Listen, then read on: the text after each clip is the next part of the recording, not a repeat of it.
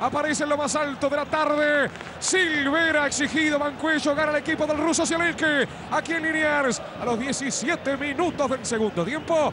Vélez 0, Belgrano de Córdoba 1. Andrés Silvera, el autor del gol. Apareció el goleador. Se recupera de su lesión. Ingresa con la pelota esperando la pasada. Un cabezazo impecable. Impecable porque le cambia el palo al arquero. Tiene tiempo. Solamente con la capacidad del goleador se puede colocar la pelota.